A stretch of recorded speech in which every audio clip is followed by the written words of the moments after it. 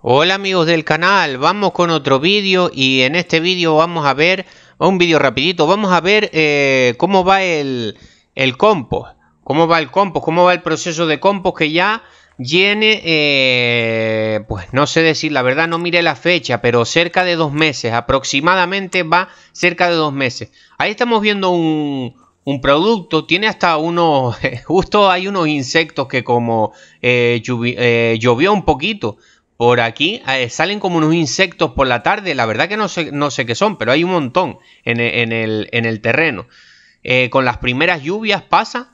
Eh, no lo sé, pero bueno, que no es tema de este vídeo. ¿Qué es lo que pasa? Ahí va el compost, ahí va de poco a poco. ¿Qué es lo que pasa? Que el acerrín tarda mucho en descomponerse. Tarda mucho en descomponerse y entonces es un proceso bastante lento.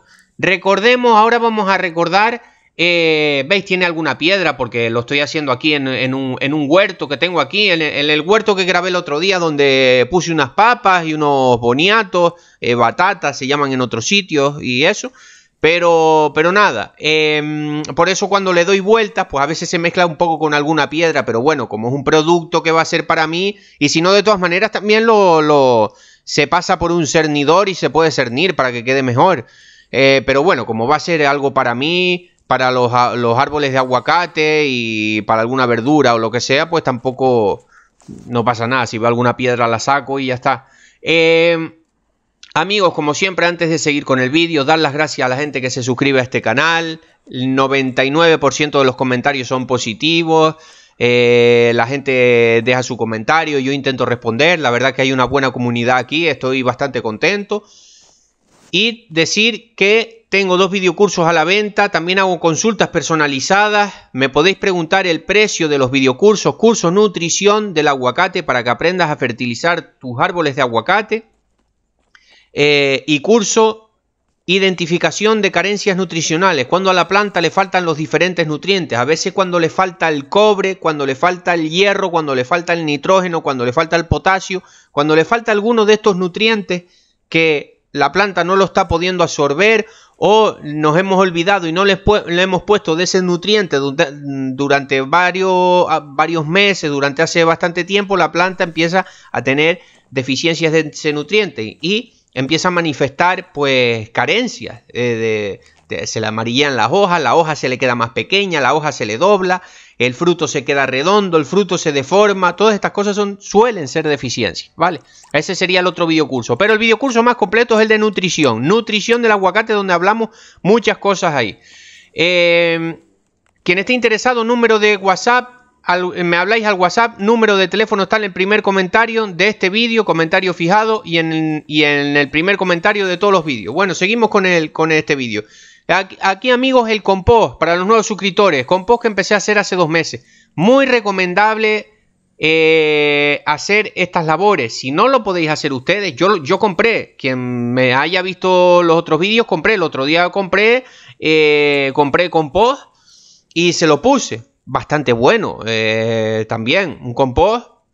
Sacos de 25 kilos. Como yo no tengo una gran plantación tampoco de árboles, pues de vez en cuando pues me lo puedo me lo puedo permitir, pero siempre intentemos nosotros, hay que intentar reducir costos, porque es lo que, lo que nos interesa, tener mayor ganancia. Y si tenemos un poco de tiempo, nosotros podemos ir haciendo un poco de compost con algún animal, si vivimos en el campo, algún animal, no excremento de perro y de, y de gato, y eso no, animales que coman hierba principalmente, o gallina, gallinaza también es muy buena.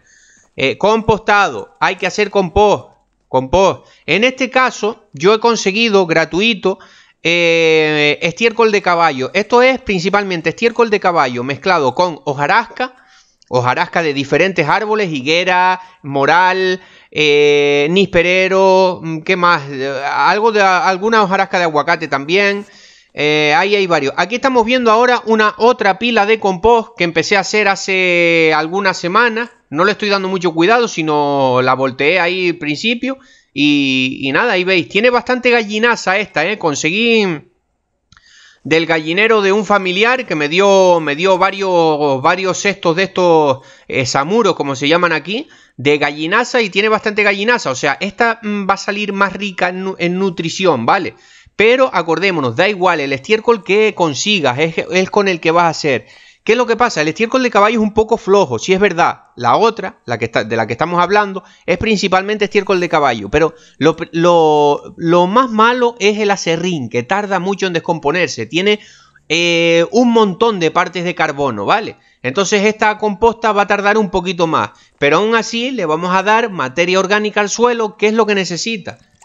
Eh, eh, los, suelos, mejores suelos son los suelos más altos en materia orgánica, ¿vale? Un, suelo alto, después sí, después ya entraríamos en que sí, que las arcillas, los suelos arcillosos. Ah, perdón, antes de seguir, ¿Qué, es ese líquido? Ese líquido son microorganismos de montaña para ayudar un poquito en la descomposición, ¿vale? Nosotros podemos utilizar estas cosas, eh, microorganismos de montaña, un poquito de melaza cuando volteamos. Yo ahora estas pilas de compost eh, la estoy volteando más o menos una vez a la semana. Ya pasó la fase termófila, me parece que es, de la que coge mm, temperatura. Se calentó mucho, se calentó mucho.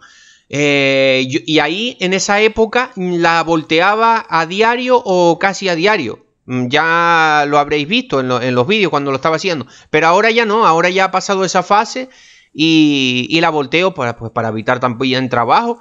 Eh, más o menos una vez a la semana para, para, para airearlo. ¿Qué es lo bueno de voltearla? Que eh, favorece también la aireación y al favorecer la aireación los microorganismos trabajan más rápido. ¿Vale? No podemos apretar el compost. Necesita aire, por eso se voltea. Por eso se voltea, ¿vale? ¿Qué podríamos aplicar aquí eh, para acelerar la composta? Como ya dije, microorganismos de montaña, eh, activados de manera líquida. También té de, otra, de otro compost que tengamos, té de humus de lombriz también. Todos esos microorganismos van a ayudar. Un, agua con un poco de melaza, azúcares para activarlo. También, eh, ¿qué más? Em, otro día voy a grabar un vídeo también de otras cosas, de, de otros elementos. Eh, hacer, ¿cómo se llama esto? Macerados. Macerados, ¿eh? Purines, perdón, purines con eh, ortiga, por ejemplo, cosas que en verde, incluso hierba verde, que tenga nitrógeno, nitrógeno, eh, le podemos aplicar y eso va a hacer que la composta vaya más rápido. Si aplicamos también estiércoles frescos, los estiércoles frescos tienen bastante nitrógeno de los orines, de los animales y todo eso, y también aceleran el compost, ¿vale? Entonces, eso sería otro, otra manera. Incluso el orín humano lo podríamos utilizar rebajado para acelerar las compostas, ¿vale? Aquí cada uno que haga lo que quiera. obviamente, si vas a utilizarlo en, verduras y cosas de esas que después te vayas a comer, pero es en compost, esto se va a, volatilizar. Pero es que en árboles frutales no veo ningún problema. Si alguien quiere hacer pis en un en algo y después mezclarlo con agua y, y echárselo a la a la mm, a la composta, pues le va a venir bastante bien, porque eso va a acelerar ese, ese nitrógeno de manera gratuita que le estás aplicando, eh, también va a acelerar la composta, ¿vale? Entonces hay varias cosas ahí. Más adelante grabaré un vídeo también de cómo acelerar la composta, pero bueno, ya lo estoy diciendo por aquí, pero más adelante lo, lo explicaré mejor con otro título. Y nada, simplemente aquí para que veáis cómo va el proceso. Casi dos meses de, o dos meses ya de la, de la composta y así va. Acordaros, si solo hubiera sido excremento de... Ah, y también tiene el, el, carbón, el biocarbón, carbón triturado que le puse a esta composta, ¿vale? Para que vaya un poquito mejor, para... ¿A qué va a ser el, el carbón? El carbón mejor... Ah, también tiene... Es que a veces se me olvidan las cosas. También tiene harina de rocas. Harina de rocas, al ponerle aquí unos... espolvorear harina de rocas, que no es arena, ¿eh? Eh, se parece a la arena fina, pero es polvillo de piedra triturada. Eso donde trituran las piedras, eh, que aquí en las islas lo hay, también podéis ir y aquí se consigue mm, barato también, uno dos amuros, que eso te da por un montón, y aquí le pones 3, 4 kilos o 5 kilos de, ese polvillo mezclado y ya está. Polvillo de piedra, eso, eh, ese polvillo, esas las piedras tienen minerales, las piedras. Entonces, mm, con la acción de esos microorganismos, hace que esos minerales se rompan y queden ahí en la, en la, en la composta. Entonces, es una composta más enriquecida si le ponemos eh, polvillo de piedra, ¿vale? Eso es otra cosa. Eh, y nada, en principio, principalmente, también tenía un poquito de gallinaza, pero principalmente, y algo de resto de verdura de la casa también, ¿vale? Es la que primero que estábamos viendo. Esta tiene bastante, bastante gallinaza. O sea, esta pienso que va a salir todavía un poco más enriquecida. Porque tiene bastante gallinaza. Eh, y esta mm, tiene bastante de estiércol de caballo con acerrín. Principalmente hojarasca. Eh, algo de eh, restos de comida de, de perdón, restos de comida, restos de desechos vegetales de la casa.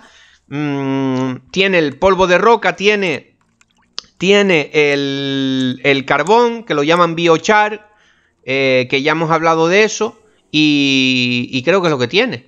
Pues nada, amigos, así va la composta. Yo casi 10 minutos, siempre se me alargan los vídeos. Espero que les haya gustado el vídeo, amigos, y un saludo.